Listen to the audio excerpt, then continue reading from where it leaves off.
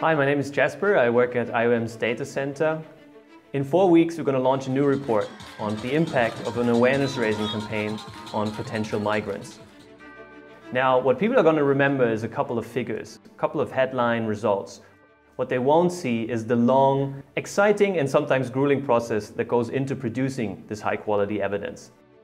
So we're gonna, for the next four weeks, release one video every week where we explain each phase in the production of these reports. I hope you enjoy it and you have fun and let me know what you think.